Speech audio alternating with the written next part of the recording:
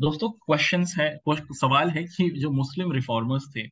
जो इस्लाम धर्म के अंदर रशियन एम्पायर में रहा करते थे और वो इस्लाम में मुस्लिम धर्म में बदलाव लाना चाहते थे चेंज करना चाहते थे तो उनको क्या कहा जाता था उनको जदीस कहा जाता था है ना जदीद कहा जाता था option A is the right option